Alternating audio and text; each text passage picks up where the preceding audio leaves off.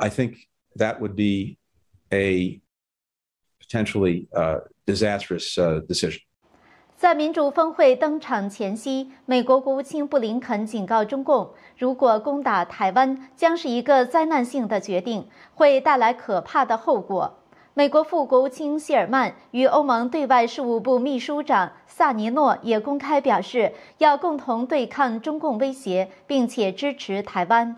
I think that would be a potentially uh, disastrous uh, decision.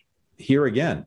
I hope that the China's leaders think very carefully about this and about not precipitating a, a, crisis that um, would have, I think, uh, terrible consequences uh, for uh, for lots of people, and one that's in no one's interest, uh, starting with China. 在美国十二月九日的民主峰会举办前，美国国务卿布林肯接受路透社首任女性总编辑贾乐宁的采访，开门见山，直接提问北京是否攻打台湾。布林肯认为这将是北京一个灾难性的决定，而这样的灾难将不符合任何人的利益。布林肯曾经指出，一旦中共侵台，美国将防卫台湾。贾勒尼追问布林肯防卫台湾的承诺是否包括美国会真正投入兵力。布林肯说：“We've we've been very uh, clear and consistently clear uh, over many years that uh, we are committed to making sure that Taiwan has the means to defend itself, and whether that's in um, in in defense articles and in services.”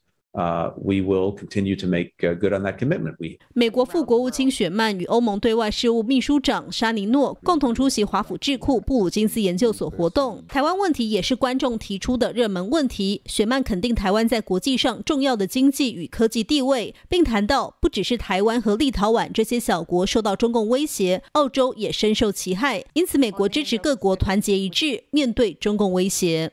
what you want to see is that all of us stand together in support of those countries that are facing economic coercion, that we give them uh, assistance and support in whatever way is appropriate for that country. 沙尼诺则表示，欧盟想要也正在强化与台湾的经济与文化关系。欧洲议会也呼吁欧盟与台湾签署双边投资协定。